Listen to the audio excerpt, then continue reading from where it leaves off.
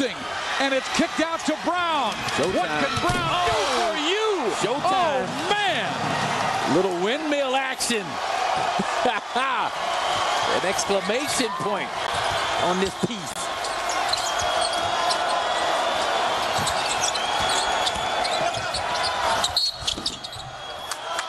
Cobbs has it rattle out.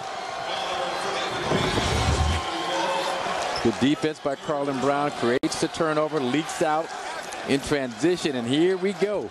I give that about a nine. Oh, I give him a ten. Give him a ten. It's Why game, not? It's, oh, ga man. it's, it's game action. Carlon Brown throwing it down.